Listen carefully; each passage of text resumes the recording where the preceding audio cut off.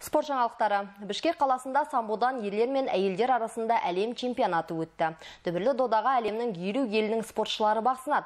Жерлесіміз 28 келі салмақ дәрежесінде сынға түсті. Ол іріктеу кезеңдерінде Қырғызстан, Жапония және Өзбекстан елдерінің спортшыларын ұтты. Айта кетейік, Қайырберді Айдынбай тамыз айында Израиль елінде өткен самбодан әлем чемпионатының және маусым айында Ливанда өткен Азия чемпионатының жеңімпазы атанған болатын.